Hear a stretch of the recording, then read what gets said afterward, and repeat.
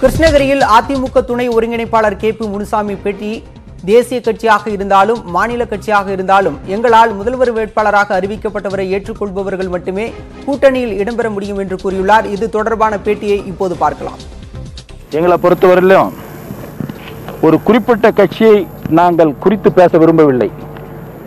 அது தேசிய கட்சியாக இருந்தாலும் சரி மாநில கட்சிகளாக இருந்தாலும் சரி எந்த கட்சிகளாக இருந்தாலும் எங்களோடு கூட்டணிக்கு வருகின்ற பொழுது எங்கள் தலைமையில் நாங்கள் அறிவித்த முதலமைச்சர் வேட்பாளரை ஏற்றுக்கொண்டவர்கள்தான் எங்களோடு கூட்டணியில் இருக்க முடியும். ஏற்றுக்கொள்ள முடியாதவர்கள் நிச்சயமாக எங்கள் கூட்டணியில் இருக்க முடியாது. நான் பொதுவான கருத்தை சொல்லிவிட்டேன். இப்பொழுது நாங்களும் பாஜக கூட்டணியில் இருக்கிறது என்று சொல்லுகிறோம்.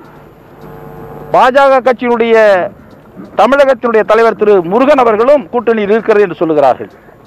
இதில் மாற்று கருத்து கிடமில்லை. இடையிலே இருக்கின்ற சில தலைவர்கள் அவர்கள் வசதிக்காக இப்படி கட்சியினுடைய தலைமைக்கு தர்ம சங்கடத்தை ஏற்படுத்த வேண்டும் என்பதற்காகவும் அதனால் ஏதாவது ஒரு ஆதாயம் கிடைக்காதா என்பதற்காக அவர்கள் சொல்லிக் கொண்டிருக்கிறார்கள். அதற்கெல்லாம் நாங்கள் பதில் சொல்ல வேண்டிய அவசியம் இல்லை முதல்வர் பழனிசாமியை முதல்வர் வேட்பாளராக இருக்கும் கூட்ட- கட்சிகளுடன் மட்டுமே கூட்டணி என அதிமுக துணை ஒருங்கிணைப்பாளர் கே பி முனுசாமி பேட்டியளித்தார். அந்த காட்சிகளை நேரலையில் பார்த்தோம்.